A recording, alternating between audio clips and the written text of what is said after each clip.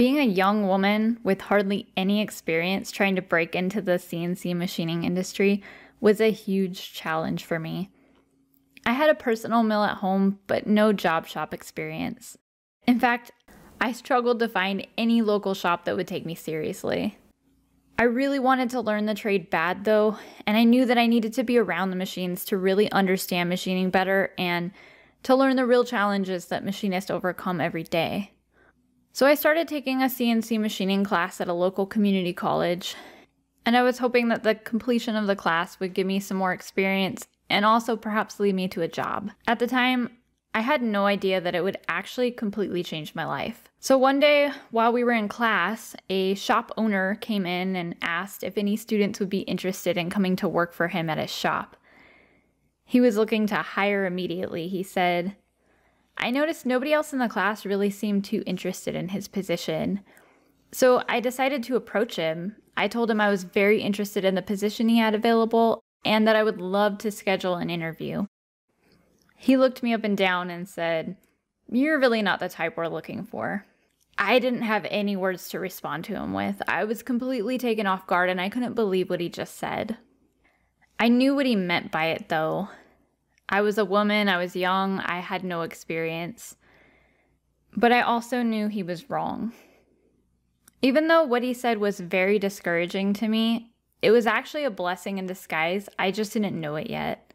So, fast forward to the near end of our semester, the teacher had arranged a meeting with the man that created the curriculum we were learning, Titan, and also to tour his shop. During their discussions, Titan had asked my teacher if he had any students that would be a good fit for a role at Titans of CNC. My teacher noticed that I had been helping a lot of other students with the material, and so he actually suggested me as a potential match. I was completely honored and blown away that he would choose me out of all the others.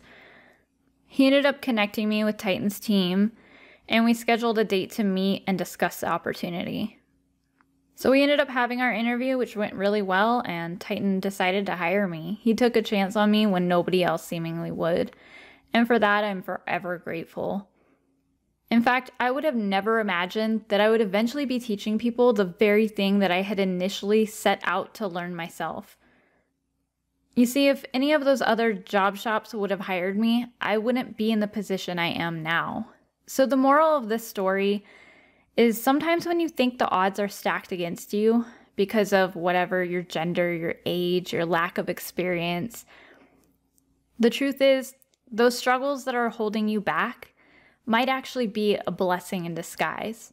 So keep going, keep chasing what it is you want, regardless of the naysayers or the hurdles life throws at you.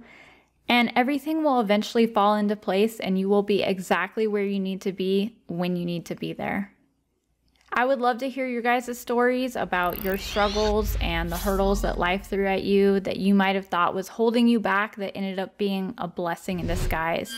So drop your stories in the comments below. And remember, if you enjoyed this story, like and subscribe to our channel, and there will be more soon.